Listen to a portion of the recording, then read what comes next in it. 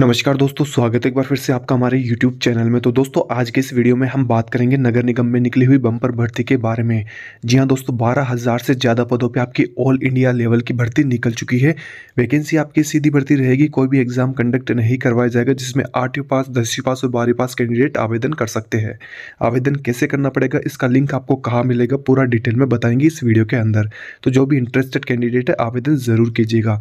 तो चलिए दोस्तों, बिना किसी देरी के करते हैं वीडियो को स्टार्ट तो दोस्तों म्यूनिसिपल कॉरपोरेशन ऑफ़ इंडिया की तरफ़ से आपकी बहुत बड़ी बम्पर भर्ती आ चुकी है। ऑल इंडिया लेवल की बारह हज़ार नौ सौ दो पदों पे आपके आवेदन मांगे जा रहे हैं।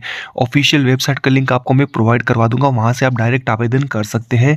कंप्यूटर ऑपरेटर के आपके यहाँ पे चौबीस पद रहने वाले हैं। क्लर्क के आपके यहाँ पे पच्चीस पदों पर पियोन के आपके यहाँ पे उनतीस पद और हेल्पर के इक्कीस और कस्टमर हेल्पलाइन ऑपरेटर के सत्ताईस पदों पर आपकी वैकेंसी निकल चुकी है।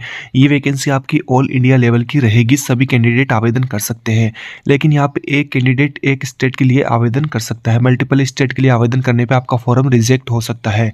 आगे दोस्तों, हम बात कर लेते हैं आपकी बाकी की अदर डिटेल्स की, जैसे कि आपका यहाँ पर एलिजिबिलिटी क्राइटेरिया क्या रहेगा। सबसे पहले हम बात करेंगे कंप्यूटर ऑपरेटर की पोस्ट के लिए। ट्वेल्थ पास होना ज़रूरी है।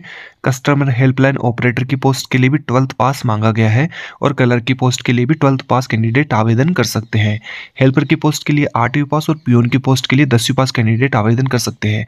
ये आपकी रहेगी एजुकेशन क्वालिफिकेशन। इसके अलावा सिलेक्शन प्रोसेस की अगर हम बात करें तो यहाँ पे कैंडिडेट्स की शॉर्ट लिस्टिंग की जाएगी, इंटरव्यू होगा, कुछ पोस्टों पर आपका एग्ज़ाम भी कंडक्ट करवाया जाएगा। दोस्तों, आगे हम बात कर लेते हैं एज लिमिट का क्राइटेरिया की। तो मैक्सिमम एज आपकी चालीस साल की रहेगी, मिनिमम एज आपकी यहाँ पे अट्ठारह साल रहने वाली है। एज रिलैक्सेशन भी यहाँ पे दिया जाएगा। एस सी के कैंडिडेट को पाँच साल का ओबीसी कैंडिडेट को तीन साल का और पीडब्ल्यूडी कैंडिडेट को अलग से यहाँ पे पंद्रह साल, तेरह साल और दस साल का कैटेगरी वाइज आपको रिलैक्सेशन दिया जाएगा। एक्स सर्विसमैन को भी यहाँ पे पाँच साल का कोटा मिलने मिलने वाला है। इसके अलावा दोस्तों, अगर हम बात करें, यहाँ पे अप्लाई कैसे करना पड़ेगा तो अट्ठाईस अप्रैल से आपके आवेदन स्टार्ट हो चुके हैं। आपका आवेदन का तरीका रहेगा ऑनलाइन ऑफलाइन मोड यहाँ पे एक्सेप्ट नहीं किए जाएँगे। वैलिड ईमेल आईडी और मोबाइल नंबर डाल करके आपको यहाँ पे प्राइमरी रजिस्ट्रेशन करना है। उसके बाद में ही आपको पूरा डिटेल में फॉर्म भरना पड़ेगा। फॉर्म भरते टाइम आपको रिसेंट फोटोग्राफ सिग्नेचर हिंदी और इंग्लिश में आईडी प्रूफ दसवीं की मार्कशीट बारहवीं की मार्कशीट दसवीं और बारहवीं का सर्टिफिकेट भी चाहिए होगा डेट ऑफ़ बर्थ के लिए।